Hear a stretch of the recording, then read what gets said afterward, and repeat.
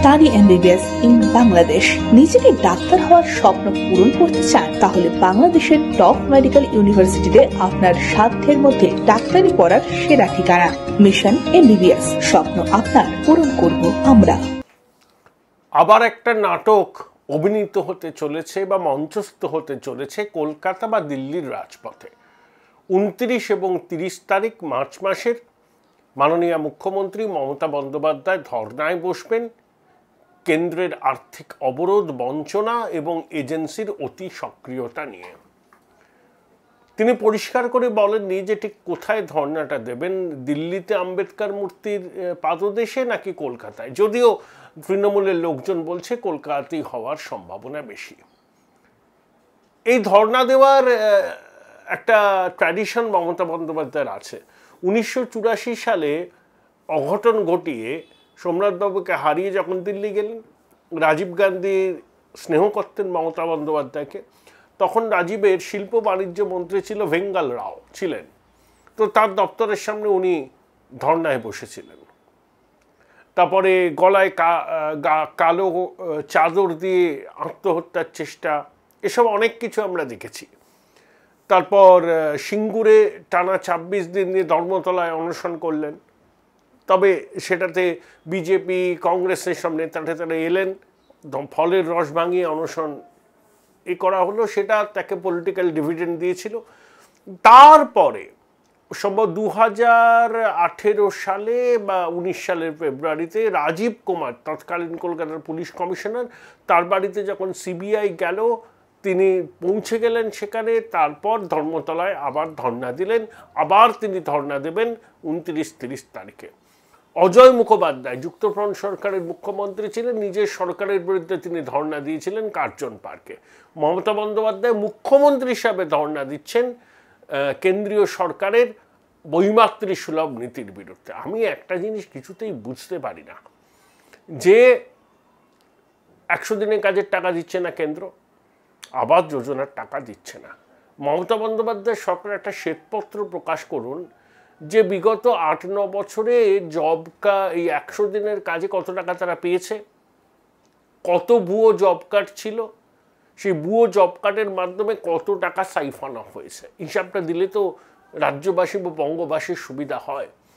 দু হাজার তেইশ, চব্বিশ অর্থবর্ষেও কেন্দ্রীয় সরকার একশো দিনের প্রকল্পে একটি টাকাও দেবেন না।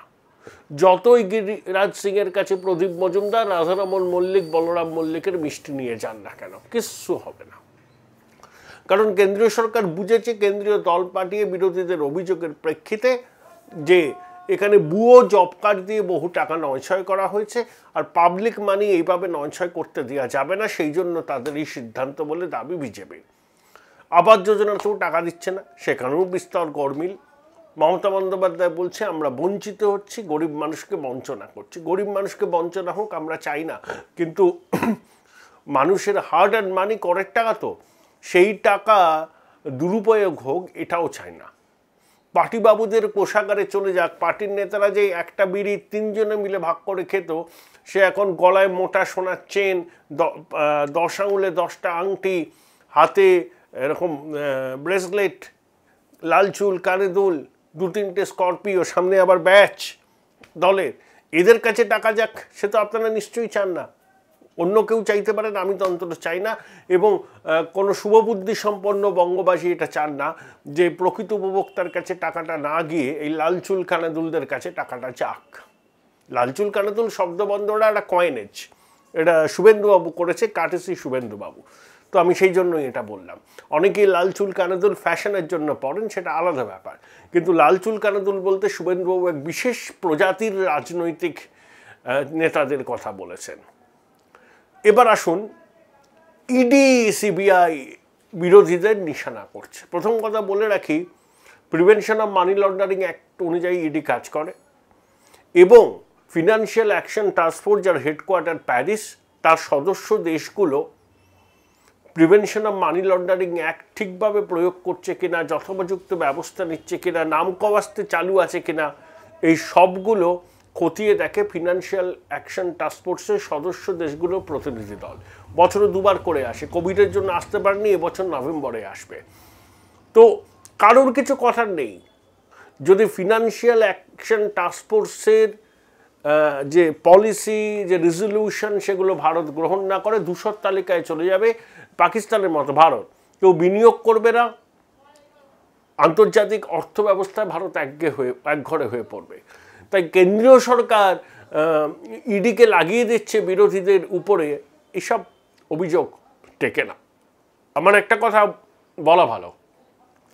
সাতই মার্চ কেন্দ্র সরকারের নোটিফিকেশন করেছে, তাতে আগামী দিনে হাইকোর্ট, সুপ্রিম কোর্টের জাজ, সমস্ত মন্ত্রী, সাংসদ, পাবলিক সেক্টর কোম্পানির যারা ডিরেক্টর, সিইও, আরও ডিসিশন মেকিংয়ের জায়গায় আছেন, পদস্থ আমলারা, এনজিও, তাদের কর্তা ব্যক্তিরা, সবাই ফিনান্সিয়াল ট্রানজাকশন নিয়ে আতস কাঁচের তলায় থাকবেন। তাদের ব্যাংক অ্যাকাউন্ট থেকে যদি এমন কোনো ট্রানজাকশন হয় সেটা সঙ্গে সঙ্গে ব্যাংক রিজার্ভ ব্যাংকে জানাবে, ইডিকে জানাবে। বিদেশে ট্রানজাকশন হলেও বিদেশের ব্যাংকে সংশ্লিষ্ট যদি অ্যাকাউন্ট থাকে, তারা আরবিআইকে জানাবে। অর্থাৎ একটা ফুলপ্রুফ মেকানিজমের আওতায় নিয়ে আসা। কারণ ডেভেলপ নেশনগুলো ডেভেলপিং নেশনকে অনেক টাকা দিত। লোন হিসাবে গ্রান্ট হিসাবে, যাতে ডেভেলপিং নেশনগুলো উন্নতির সড়কে আসতে পারে। কিন্তু দেখা গেছে, সেই টাকা বিপুল নয়ছয় হয় রাজনেতা, আমলা ডিসিশন মেকিং স্তরে যারা আছেন, তাদের পকেটেই চলে যায়। সেই জন্যই ফিনান্সিয়াল অ্যাকশন টাস্কফোর্স উনিশশো এই বিশ্ব কোল্ড ওয়ারের পর থেকেই এটার সূত্রপাত, তারপর একটা পাকাপোক্ত বডি তৈরি হয় প্যারিসে তার হেডকোয়ার্টার তো এটাতেই ইডি কাজ করে। মোদিজিরও কিছু করার নেই, দেশের সংসদেরও কিছু করার নেই। আমি প্রশ্ন করতে চাই, আমাদের যে শাসক দলের, আপনাদের অনেক নেতা দশ বছর আগে যে অবস্থায় ছিল আর এখন তাদের সম্পত্তি কতটা বেড়েছে? চোখে তো দেখতে পাই। অনেকে বলেন, একটা এলাকায় পঁয়ত্রিশটা বাড়ির মালিক নাকি একটা পরিবার। অনেক নেতা যারা ট্যাক্সি, বাসে চড়ে ঘুরত, তিনটে তিনটে বিদেশি গাড়ি। দু বছর অন্তর গাড়ি চেঞ্জ করে। কি করেন? কি ব্যবসা করেন? কোথেকে লোন নিয়েছেন? সেই ব্যবসায় কারা বিনিয়োগ করেছে? আপনি কি কোনো আবিষ্কার করেছেন, পেটেন্ট টেটেন্ট? তার জন্য রয়্যালটি পান? কীভাবে টাকাটা পান? এটা কীভাবে সম্পত্তিটা করলেন, এটা বুঝিয়ে দিলেই তো হয়। কেউ আপনার কাছে আসবে না। আপনি জাস্টিফাই করে দিন, ভাই, আমি একটা বড় বাড়ি কিনেছি কলকাতা শহরের বুকে, যার বাজার মূল্য যখন কিনেছিলাম, ধরুন এক কোটি টাকা। আমি এক কোটি টাকাটা কীভাবে দিয়েছি? এটা প্রমাণ করে দিন, না, আপনি সাদা টাকা দিয়ে কিনেছেন। কেউ ইডি সিবিআই আসবে না। ইডি আসবে না। আপনি সেটা প্রমাণ করবেন না, আপনি কৈফত দেবেন না, আপনি আয়ের উৎস বলবেন না, আর বলবেন কেন এজেন্সির তৎপরতা। আমাদের করের টাকা যাতে লুটপাট না হয়, সেদিকে তো নজর রাখতে হবে নাকি?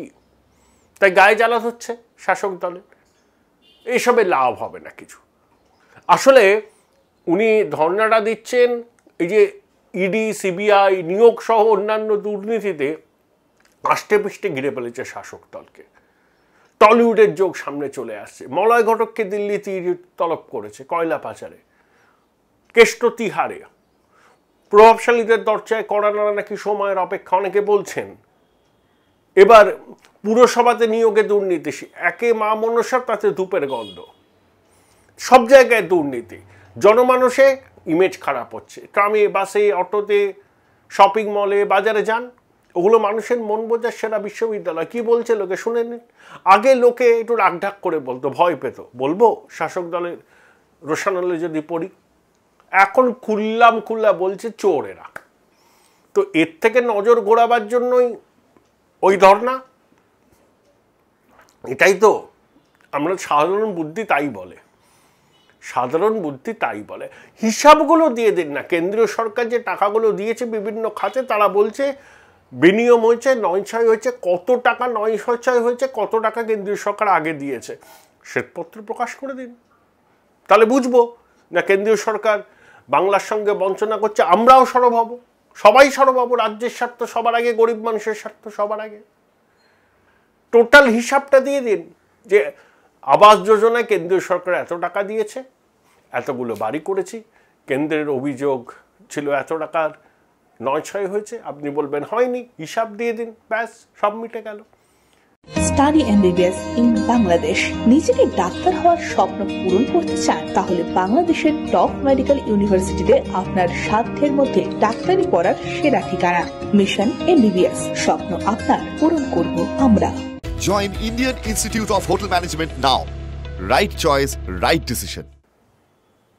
দিদি জগন্নাথ দর্শন করে নবীন পটনায়কের সঙ্গে দেখা করবেন। খুব ভালো।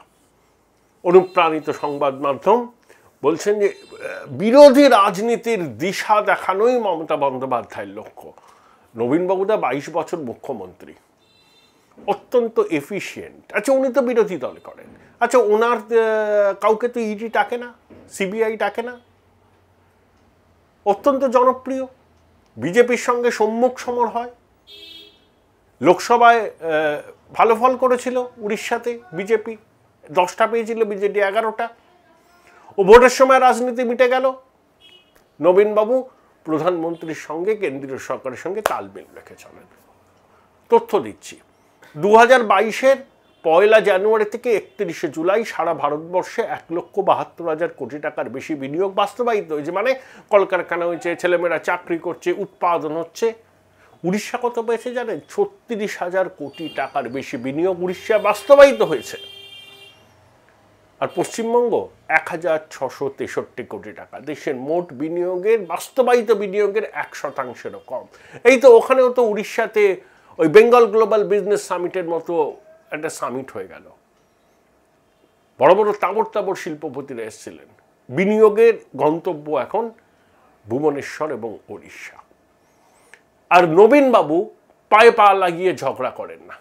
রাজনীতি রাজনীতির জায়গায় আর সবসময় কেন্দ্রীয় বঞ্চনার কথাও বলেন না। ওই যে লাস্টে যেটা হলো ইয়াস দু হাজার একুশের বিধানসভা নির্বাচনের পর, ঘূর্ণিঝড়। প্রধানমন্ত্রী কলাইকুণ্ডায় এসেছিলেন, সেখানে মমতা বন্দ্যোপাধ্যায়, আলাপন বন্দ্যোপাধ্যায় গেছিলেন, আলাপন বন্দ্যোপাধ্যায়ের সঙ্গে মমতা বন্দ্যোপাধ্যায় বেরিয়ে গেলেন শুভেন্দু অধিকারীকে দেখে। তারপর প্রধানমন্ত্রী গেলেন উড়িষ্যায়, সেখানে নবীনবাবুকে নিয়ে তিনি ঘুরলেন। নবীনবাবু কিচ্ছু চাইলেন না। প্রধানমন্ত্রী দিল্লিতে ফিরে দুহাত উজাড় করে উড়িষ্যাকে সাহায্য করলেন। নবীনবাবু বলেছিলেন, আমরা নিজেরাই পারি আমাদের এই ক্ষয়ক্ষতি মেটাতে। দু সালের দিওয়ালির উপহার কি ছিল নবীনবাবুর? উড়িষ্যায় যারা সরকারি চাকরি করেন, কোনো কন্ট্রাকচুয়াল কাজ থাকবে না। সবাই স্থায়ী চাকরি পাবে। নিয়োগপত্র দিয়েছিলেন সাতান্ন হাজার ছেলে মেয়েকে। আর এখানে চাকরি বিক্রি হয়। স্থায়ী চাকরি হয় না। সব জায়গায় কন্ট্রাকচুয়াল সর্বোচ্চ স্তরেও এখন বেসরকারি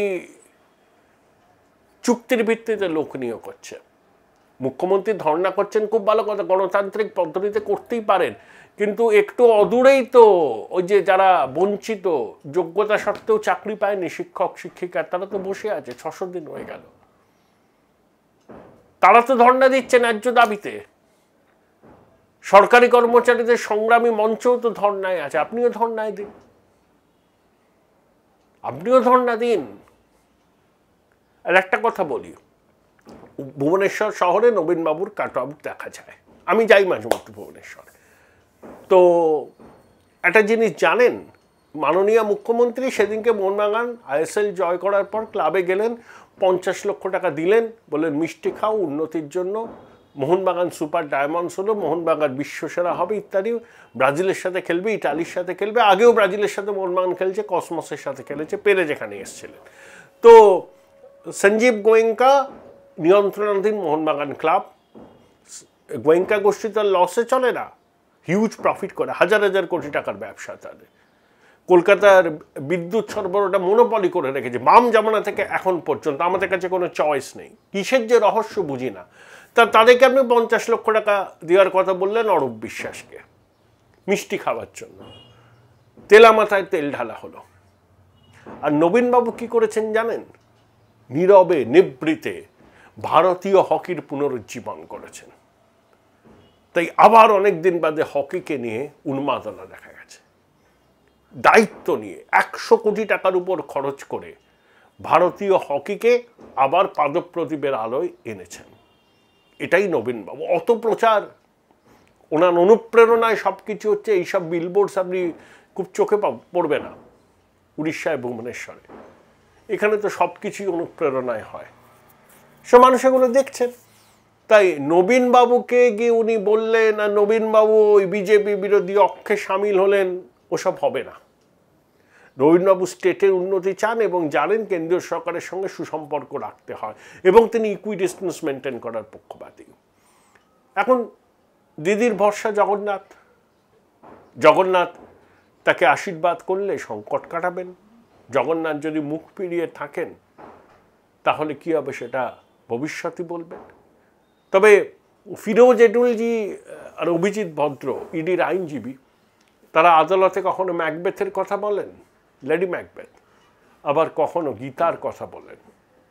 সত্যি, ঈশ্বর পরিত্যক্ত বঙ্গদেশকে একমাত্র বাঁচাতে পারে ভগবান শ্রীকৃষ্ণ। সম্ভব আমি যুগে যুগে, দরকার একজন।